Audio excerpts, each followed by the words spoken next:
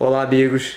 Lembro que no dia 31 de agosto, sábado, nós teremos em Jacobina, na Bahia, um curso sobre as metodologias educacionais inclusivas.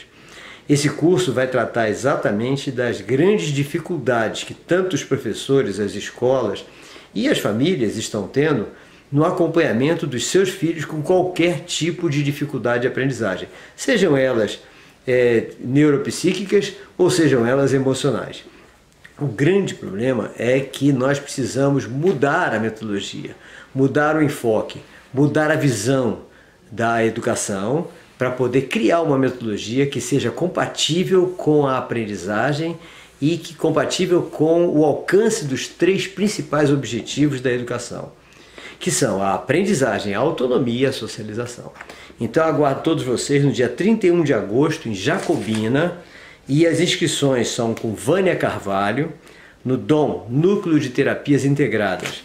E o telefone é 74 99134 1649. Aguardo todos vocês então em Jacobina para batermos esse papo importante sobre essa grande dificuldade que todos estão tendo atualmente. Forte abraço.